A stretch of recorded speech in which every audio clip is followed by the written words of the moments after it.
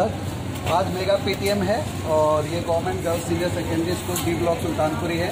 हमारे बीच में SMC members हैं, कुछ पेरेंट्स हैं और हमारे एक मेंटो साथी किशन जी भी हैं और टीडीसी पूजा जी हैं मैडम हैं और हम सबसे पहले H O S ma'am Sunita Kuldeep ma'am और इनका अनुभव जानना चाहेंगे कि मेगा पीटीएम आज कैसा अभी तक, क्योंकि काफ़ी आज मैं बहुत खुश हूँ कि आज इतने पेरेंट्स स्कूल में आए हैं। हमने दो तीन दिन पहले ही सबको बच्चों की डायरीज में नोट लिख दिया था और इनविटेशन कार्ड भी भेजे थे ताकि ज़्यादा से ज़्यादा पेरेंट्स की इन्वॉल्वमेंट हो। और ये इनविटेशन कार्ड भी बच्चों ने खुद बनाए थे और बच्चों के माध्यम से पेरेंट्स तक पहुँचाए गए थे। इसका भी बड़ा अच्छा पॉजिटिव इम्पैक्ट आया है।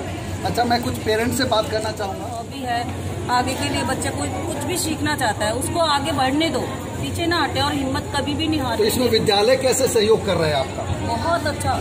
नहीं विद्यालय का क्या सहयोग मिला? आपको कुछ लगा कुछ नया हो रहा है या क्या? E M C mind set. Curriculum की जो आज मीटिंग हुई थी आप उसके बारे में बताइए एक बार। बच्चे विद्यालय से। अच्छा आपको हैप्पीनेस और ईएमसी क्या लग रहा है? ठीक है बच्चों को इसको इससे फ़ायदा हो रहा है बच्चों को? उसको ये जिम्मेवारी दी गई थी कि ये ज़्यादा से ज़्यादा पेरेंट्स को इन्वॉल्व करें। इसके लिए मैं आप लोगों को भी कहूँगा कि बहुत आपने मेहनत की है तभी आज इतने पेरेंट्स आ रहे हैं।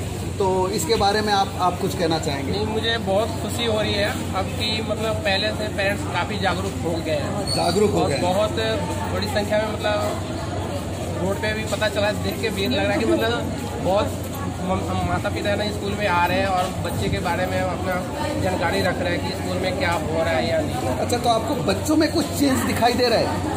हंड्रेड परसेंट देखिए जो सच्चाई हो वही बोलिएगा मैं ये इसलिए पूछना चाह रहा हूँ। हंड्रेड परसेंट है मतलब पहले से और अब मैं ना काफ़ी मतलब सौ परसेंट से ज़्यादा मतलब अगर देखा जाए तो पहले बच्चे इतने ना भागीदारी नहीं करते थे मतलब जागरूक नहीं थे।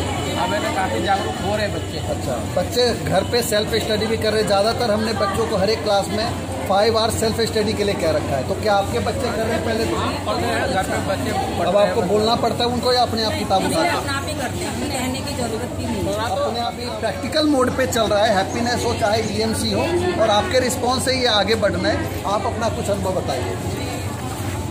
सही है सब अच्छा लग रहा है काफ़ी और मेरी लड़की का भी है कि पढ़ाई में भी है और उसमें मतलब जैसे पार्लर का है या सिलाई में दिमाग ज़्यादा है। ज़्यादा है। तो आप उसको मोटिवेट कर रहे हो। बच्चे में बदलाव अभी आया है कुछ समय में या धीरे धीरे आ रहा है या? तो रहा बदलाव आ रहा है। अच्छा मैडम इतना कोऑपरेटिव इतना सपोर्ट करती है तो बहुत अच्छी है मैडम। बहुत ज़्यादा बच्चों को कॉपरेट करती हैं बच्चों को हर तरह से देखा भाली बच्चों के लिए हर तरह से सुविधा है बच्चों की अच्छा। पढ़ाई लिखाई अच्छा ये हमारे बहुत अच्छी करती हैं ऐसी बात मैम तो है। इस बार ना बच्चों को फ़ीस भी अपने मतलब खर्चे से ना मतलब अपने है, मतलब ये बहुत अच्छी इनिशिएटिव रही कि मैडम ने अपने पैसे भी खर्च किए और इसको है लेकर मैडम अपने हाँ। पैसे ऐसी बात अच्छा और हमारे जो टीडीसी मैडम इनके बारे में? हाँ? साथ देती है हमारा हर चीज़ के साथ देती है ऐसी बात नहीं है। अब तो इनसे ज़्यादा मुलाकात नहीं होगी दो दो शिफ्ट जगह हो गई स्कूल तो मतलब अच्छा स्कूल दो शिफ्टों में चल रहा है इसके मतलब दो दूसरे जगह भी चल रही है। अच्छा अच्छा अच्छी। हमारे सब हमारा साथ अच्छा ये ये जो मेरा रोल मेरा मेंटोर में मेरा भी कुछ है? है बच्चों को आगे लेने नए नए मतलब गाइड दे रहे हैं मतलब जहाँ तक हो सके मतलब। और आगे हम भी देखते हैं तो अच्छा लगता है मतलब। अच्छा अच्छा लगता है। सर के सहयोग से आपके सहयोग से ये पूरे स्कूल को सबके सहयोग आगे तक चलिए वैसे भी एक टीम वर्क है और आप सबका पूरा सहयोग है। और मैडम भी हमारे साथ काफ़ी कोऑपरेट और काफ़ी सारी मैडमें हमारी बहुत अच्छी हैं। Okay thank you